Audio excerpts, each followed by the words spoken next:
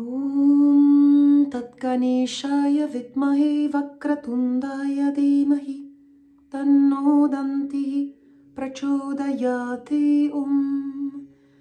ॐ तत्परम्पर्याय विद्महे ज्ञानलिङ्गेश्वराय धीमहि, तन्नो गुरुः प्रचोदयाते ॐ। ॐ योगमहर्षि डॉक्टर स्वामी गीतानन्दगिरि गुरुमहाराज की जय। ॐ योगेन चित्तस्य पदेन वाचं मलं शरीरस्य च वैद्यकेन। योपाकरोतं प्रवरं मुनीनं पतञ्जलिं प्राञ्जलिरानतोऽस्मि। ॐ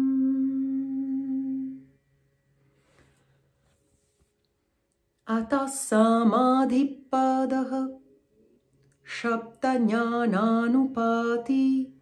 वस्तुशून्यो विकल्पः Delusion is verbal expression that is based on absence of form.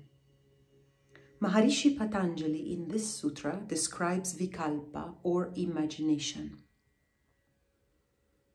In imagination, there is a sound and there is knowledge of an object or concept, but there is no real basis in reality. When thought is not based in reality, it is called imagination. It is the opposite vritti to pramana, pramana or cognition. A verbal expression may exist for something that is not based on actual existence of form. In this case, there is no form, but only a verbal depiction of something, thus creating something out of nothing. Swamiji described this as verbal diarrhea, where people talk and talk and talk without any consistency or substance in what they say. One can say anything, such as a crow, a crow has horns. But such a statement has no basis in reality. Prana and states of mind. Evolution depends on the quality of prana, which determines the natural radiance existing in nature.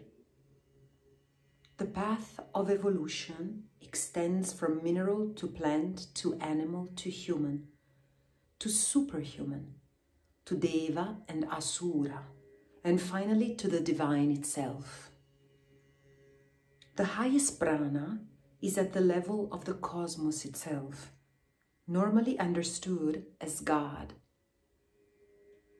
The ancient Tamil scriptures, such as the Shiva Puranam, describe the process of evolution from grass to worm, to trees and animals, ghosts, birds, Gana, Lord Ganesha, the Lord of these forces helping us to evolve, Deva, and so on.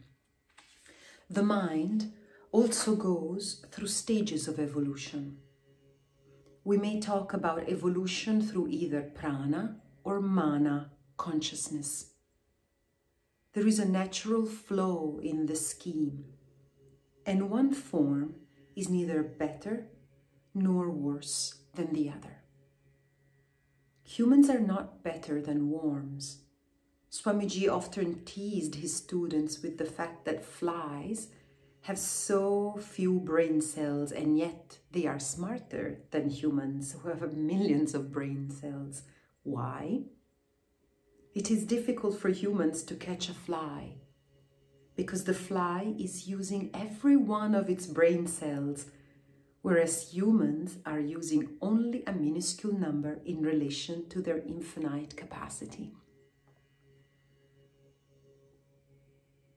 When we talk about the mind fields and the accompanying whirlpools, we must understand that there are five levels to the concept of mind itself.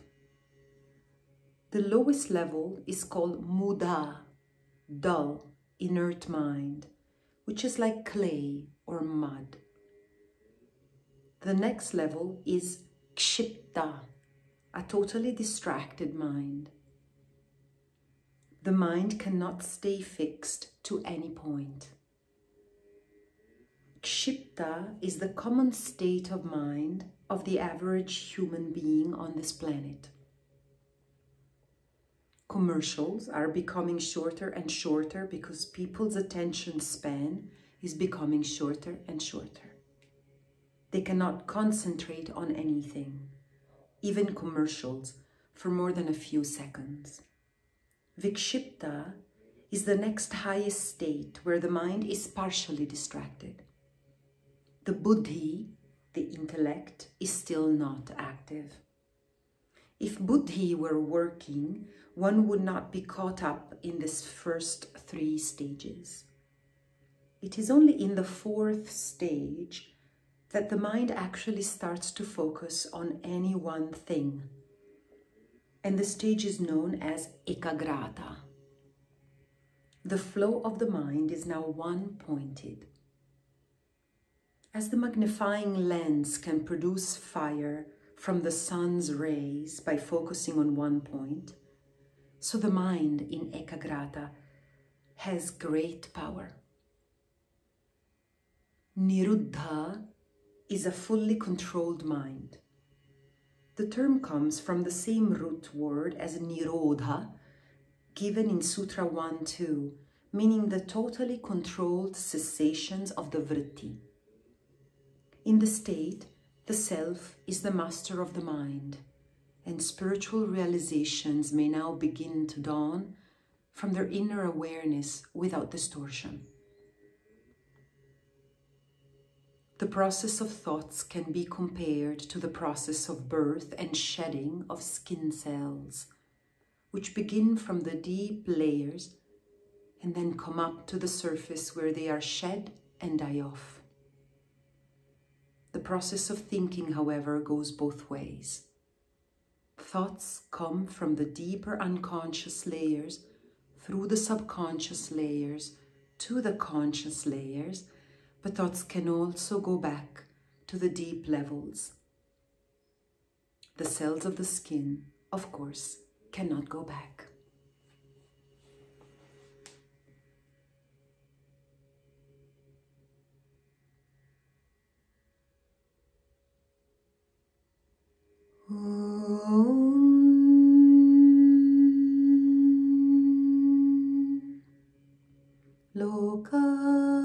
samasta sukhino bhavantu